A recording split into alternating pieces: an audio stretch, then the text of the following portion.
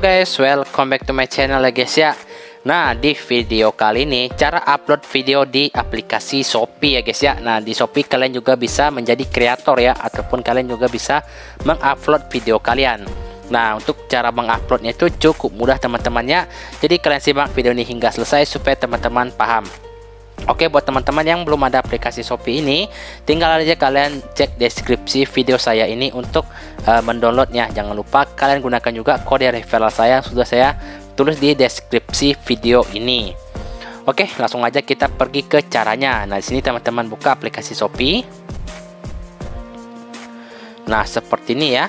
Nah jadi kalau misalnya kita ingin mengupload video nah teman-teman lihat ya di bagian bawah ini kan ada tulisan seperti ini ya Nah, misal kayak gini rekomendasi pay live video notifikasi dan saya. Nah, teman-teman tekan saja di bagian video. Nah, maka kita akan seperti ini ya. Kita bisa melihat juga video-video sangat banyak sekali di sini ya dan juga banyak sekali kreator. Nah, seperti ini misalnya dia uh, mengupload video. Terus ada juga yang kayak gini dipromosiin tuh barangnya. Jadi kita tekan tinggal beli. Jadi nggak perlu nanya ini link-linknya di mana gitu ya kan. Jadi lebih praktis lah. Oke untuk cara mengupload videonya itu teman-teman tekan di bagian sini ya. Nah nih di bagian atas nih kan ada nih logo yang seperti ini ya. Mungkin ada nih di Shopee kalian. Nah logo yang seperti ini kalian tekan. Nah Nah maka kita akan diarahkan seperti ini ya ke kamera kita. Nah seperti ini. Jadi di sini kita bisa juga dari galeri ya. Jadi kalau dari galeri tinggal kita tekan galeri. Nah misalnya saya contohkan dari galeri. Nah seperti ini. Oke misalnya ini video dari galeri kita ya. Nah jadi di sini misalnya kita akan mencontoh mengupload video ini ya. Jadi kita tekan ini cek centang ataupun kita tekan lanjutkan nah ini tekan lanjutkan Nah maka kita akan dibawa seperti ini di sini teman-teman juga bisa menambahkan teks Nah, misalnya seperti ini. Nah, bisa menambahkan teks. Kemudian di sini Nah, ini juga bisa kalian geser-geser ya taruh di mana misalnya di atas.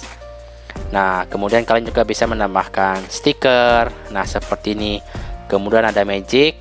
Nah, untuk magic itu kayak efek ya seperti ini.